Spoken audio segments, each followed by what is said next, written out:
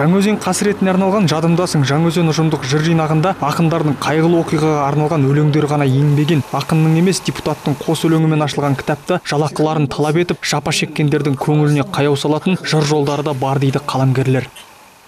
Бақытбек ысмағұл деген кісі жазыпты. Шырқын бұзып шаттықтың дос дұшпанға таба боп дейді.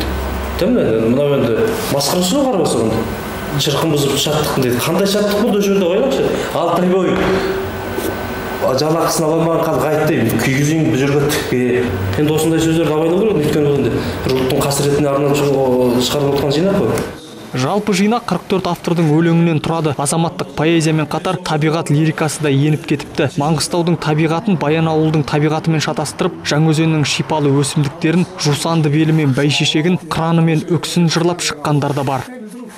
Айсұлу қасымбек деген жазыпты жаңаөзенге барғанда дейді қарасам мына өзі бір жаңаөзенге барғанда бір табиғат лирикасымен жазды.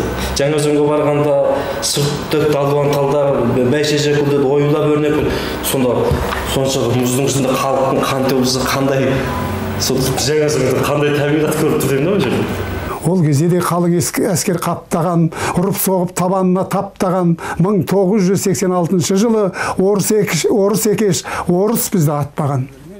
Бұл кітапқа ақын жұмаш көкбөрінің де өлеңі енген. Ол жинаққа түрлі ақпарат құралдарына жарияланған жырлардың жинақталғанын айтады. Алайда кейбір авторлардың өлеңдері өзгеріске ұшыраған яғни елбасыға тиетін жерлерін қиып тастаған дейді.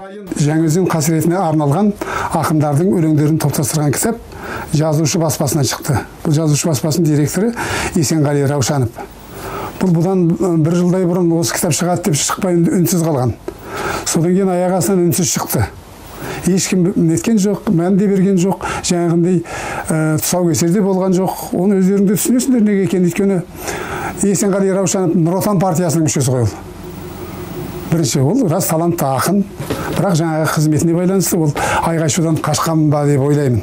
Сондықтан да бұл кітап толығымен жаңа жаңа өзен қасіретін бейнелей алды деп айта алмаймыз. Бірақ дегенмен де жаңағындай жазушы сияқты баспаның осындай батыл қадамға барғанын қолдауымыз керек.